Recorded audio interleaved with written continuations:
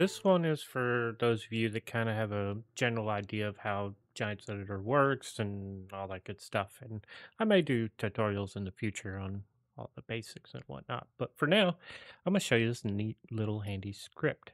And uh, what it does is uh, it kind of generates some random foliage in a selected texture area.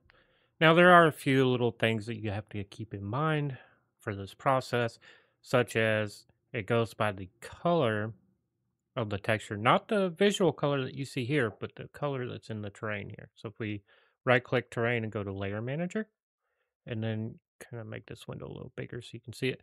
Now see how each one of these has different colors? So like whichever one you're wanting to go with, just make sure that that texture set has its own unique color, which if you go to the combined layers, you can see which ones are combined. So let's say you paint the uh, forest grass, you'll have forest grass 1 and forest grass 2. Okay, so you want to make sure that those two are the same color. So if you come here and then click on forest grass 1 and 2, so you just want to make sure that these colors are unique. And to change them, you just double click them, change them, hit OK, and copy that uh, value here to the second one, so that way they're both the same. Otherwise, I'll kind of throw things off. But a lot of times, like default game, uh, these will be the same color. So I had to go in and change these for this script to work because this is the color that it's going by here. Okay, and then you apply it and close it. And uh, it doesn't hurt to close the map and reopen it in Giants Editor. That way it uh, refreshes the texture paint stuff. But anyway, so I'm going to make a little forest area, right? So we take our paint tool here. Now I've already got meadow down. Um, we'll change that in a second. We'll go ahead and change this to forest ground. Okay. So let's say we want this area to be our forest, right? Um, let's go ahead and paint down uh different type of grass for the forest area.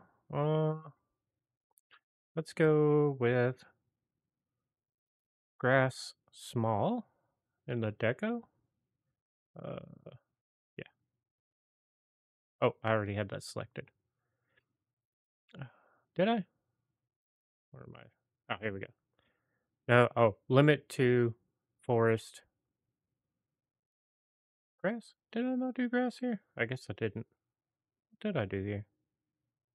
Oh, forest ground. I want grass. Forest grass. I don't think I updated ground, so we'll go grass. Put in some area here. And then we'll paint the foliage for that area. About like that. Now, you don't want to do too large of an area. Uh, it's best to kind of keep them small because the larger the area, the longer the script will take. So something to keep in mind on this. And I think that's it. Okay, so we want to go ahead and create a new transform group, which you can right click in here, create group, and it creates one, or you can go up here to create transform group, and it creates one. And then we use control B, left control B is in boy, and then put that transform on that texture. So make sure it's on that texture color because uh, wherever this is located, so if you have it over here, it's going to go by the grass color and it'll paint everything but this area. So we want to make sure it's in the area that we want it to uh, do the foliage stuff for. Okay, and then we go ahead and run the script, which will be in your scripts, and then uh, user scripts, and then wherever you have it put there. Um,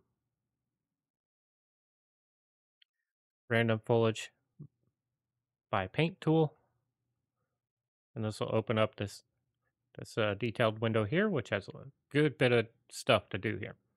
So basically what this is, is it gives you five different type layers that has three states each that you can pick from for it to randomly put in here. If you leave them blank, it'll actually um, remove foliage because this is the foliage removal. Um, which in Deco Bush, since in this map it's a separate density file, it won't do anything. But if you have have it to deco foliage or any of the other ones, and then the states are all zero, it'll actually remove foliage from wherever it randomly tries to put it. Okay, so uh, let's go ahead and just we're doing forest here, so I'm gonna do some bushes. And then as you click these, you'll see down here, it'll say common O2 foliage selected. So that way, if you go down to 15, which I don't think it exists, it says to try another one. So anytime you make a selection here, just check down here. Now, another thing too is if you want to know what each one has available, you can show, click the show foliage states in console. And then if you make your console bigger here, it shows all the different states for each uh, foliage type. That's up to you how you want to do that though. But anyway, so we'll just go ahead and randomly pick a couple here. Okay. Um, I guess we'll do some regular bushes as well. You can randomly select those. I wouldn't do too much with the bushes. We want that one different.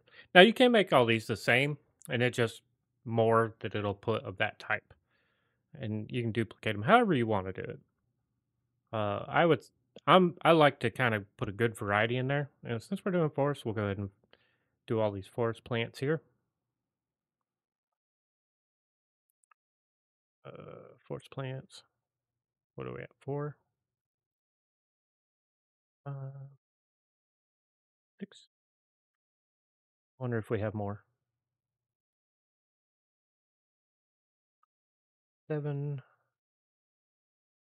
Eight. And let's see if we can do nine. Does that exist? It does. Rice long. Perfect. Okay, so now I've got everything selected. And uh, let's see what it does. So we'll just run the script. Now, it will take a moment, depending on your computer and how powerful it is. It'll take a few moments for this to actually do its thing. Um, there, it's done. So it's not too bad. Let's uh zoom in and see. Let's un- unhook that or unselect that. Look at that. So it gives a good random generation. Now let's say you think that's too much foliage. So you just come in here, change all these to zero. Same here. Here.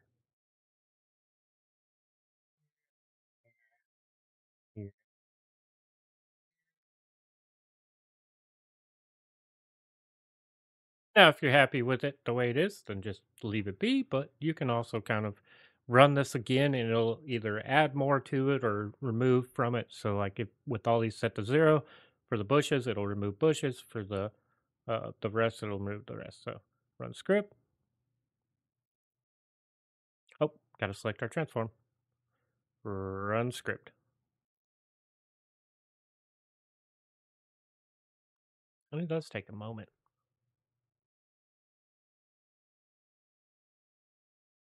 There we go. So it thinned it out a little bit. Oh, let's unselect that. And uh, you can actually thin it out more if you like, but see how you can actually see the uh, the ground texture there and all that good stuff. So let's do it at the first person level. So that's this is what it'll look like in game. Uh, it it's a little more detailed in game, but uh, yeah, I'll come up a little bit.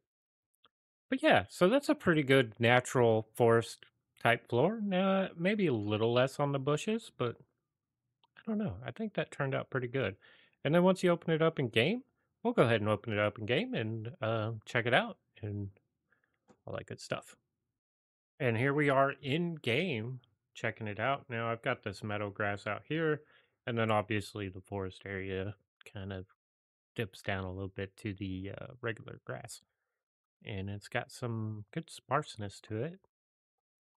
So just imagine a bunch of trees in here and how that would look. And uh, I guess I would do not put the long grain rice in here. I don't know. Doesn't feel right. Looks cool though. But yeah. So yeah, this script gives it a good natural feel, a good bit of randomization, and uh, plenty of options to to really fill in your forest or whatever it is that you want the random foliage generated on. But uh, yeah, so if you guys like this, uh, let me know, and hey, maybe we'll put out some more of our lovely scripts as we create them. As our goal is to make GE as easy as possible to create beautiful things or something like that. I don't know. But anyway, appreciate you watching. Have a good day.